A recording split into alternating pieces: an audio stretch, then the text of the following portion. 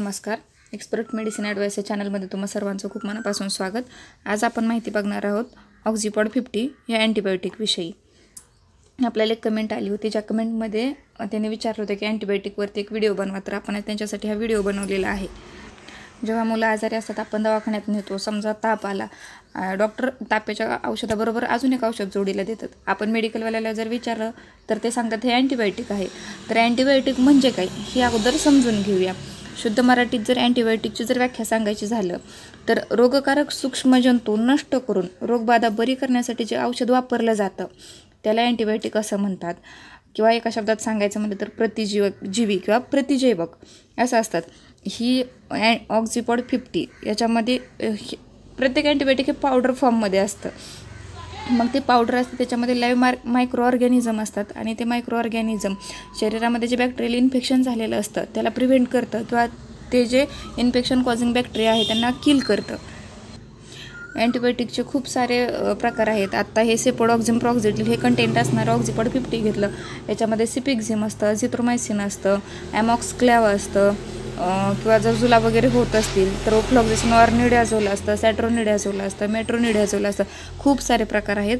पण त्यातलं आज मी अँटीबायोटिकची तुम्हाला व्याख्या सांगितली आणि हे ऑक्झिपॉड फिफ्टी हे कशासाठी यूज केलं जातं हे आपण सांगू. इंडोको रेमेडीज या कंपनीचं हे सिरप आहे आणि एक्क्याऐंशी रुपये प्राईज आहे या औषधाची. ह्याच्यामध्ये ऑक्झिपॉड हंड्रेड पण भेटतं. डॉक्टर तुम्हाला जे देतील ते तुम्ही रेफर करा. जर ताप आला असेल तर तापाच्या इन्फेक्शनमध्ये हे अँटीबायोटिक चालतं. समजा रिस्पायरेटरी ट्रॅकला इन्फेक्शन झालं असेल स्किनला इन्फेक्शन झालं असेल किंवा कानाचं इन्फेक्शन असेल टॉन्सिल झालं असेल किंवा लहान मुलांना जर युरिनरी ट्रॅक इन्फेक्शन म्हणजे लघवीच्या ठिकाणी जर इन्फेक्शन झालं असेल तर बऱ्याचशा इन्फेक्शनमध्ये हे सिरप हे यूज केलं जातं. जे शरीरामध्ये बॅक्टेरियांची जी ग्रोथ झालेली असते ती ग्रोथ हे बॅक्टेरिया किल करतात आणि पुढची त्यांची वाढ आहे ती थांबवतात. लहान मुलांना हे औषध देताना शक्यतो काहीतरी खाऊन द्या.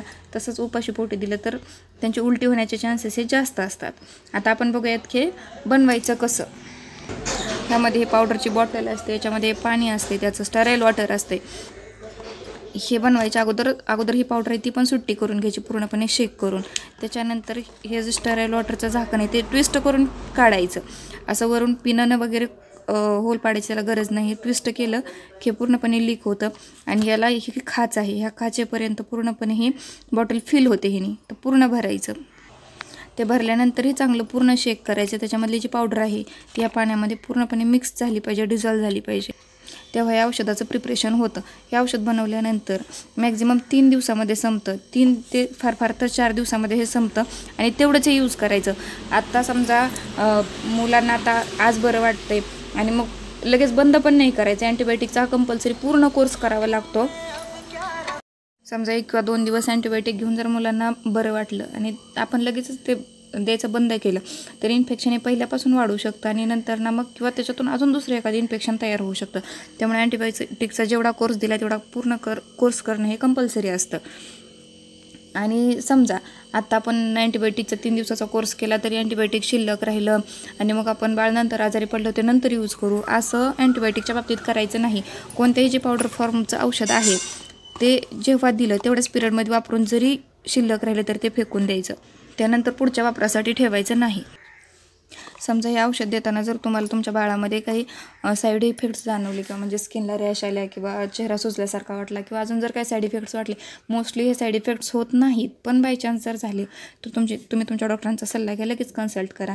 ह्याचे जर कॉमन साईड इफेक्ट्स म्हणलं तर काही ना होऊ शकतात. मळमळ होते उलटी होते अं, जुलाब वगैरे होऊ शकतात. जर जास्त डोस दिला तर त्यामुळे ज्याप्रमाणे योग्य डोस जो सांगितलेला आहे डॉक्टरनी त्याच डोसनी हे औषध घ्या. प्रत्येक वेगवेगळ्या आजारासाठी डॉक्टर त्या बाळाची कंडिशन बघून हे अँटीबायोटिक देत असतात. त्यामुळे जे दिलं आहे ते अँटीबायोटिक तुम्ही यूज करा. बाळाचा आजार लवकर कवर होण्यासाठी अँटीबायोटिक हे खूप मदत करतं.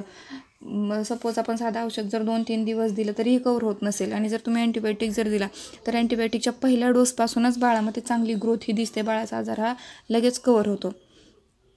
तुम्हाला जर हा व्हिडिओ आवडला असेल तर व्हिडिओला लाईक करा आणि चॅनलला नक्की सबस्क्राईब करा. पुन्हा भेटूयात अशाच एका छानशा व्हिडिओमध्ये. तोपर्यंत धन्यवाद.